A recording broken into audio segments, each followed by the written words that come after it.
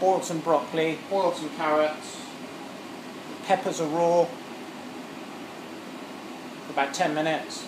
Then I chuck the peppers, boiled broccoli, the boiled carrots in the baking tray. They're going to go in the oven for like 10 minutes or something, 10 or 15 minutes.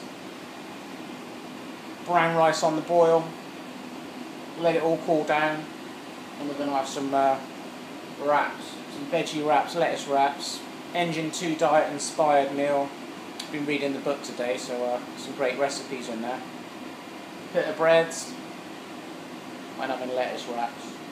So yeah, no oil, no added salt. All I'm going to probably add on there is a bit of this.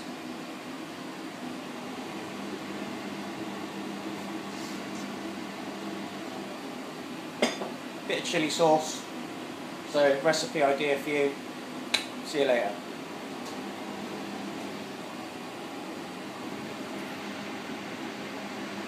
Check out the colours.